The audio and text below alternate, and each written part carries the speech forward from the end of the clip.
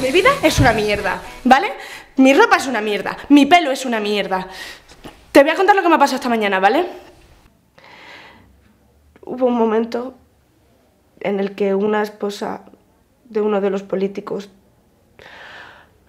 pues, pues tuvo el cuajo de acercarse a mí y y ridiculizarme delante de todos. El pasado 2010 fuiste capturado y sometido a un largo periodo de tortura. Pero pararon. ¿Por qué pararon? No lo sé. ¿Quién es Isaac? Isaac era uno de los guardas. Ya se lo dije a Montoya. ¿Sabes que el hijo de Jihad Mustafak también se llama Isaac? ¿No? Y me he puesto a llorar, bajito, para que nadie me oyera. Y, y- pero de frustración. Pero es que aún llorando bajito, el señor nos ha dado cuenta de que yo necesitaba pasar por una puñetera lata de atún.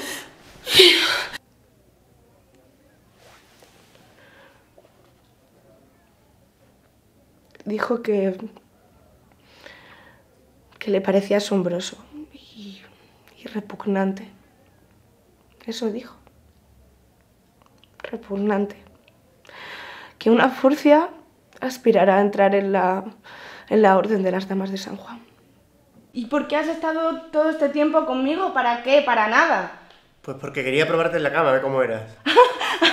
¿Qué? Estás, estás de coña. Estás de coña. No.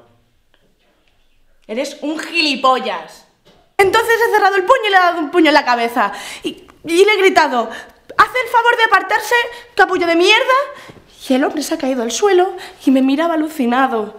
Y, y- y- y había un niño a su lado que se ha puesto a llorar y yo también lloraba.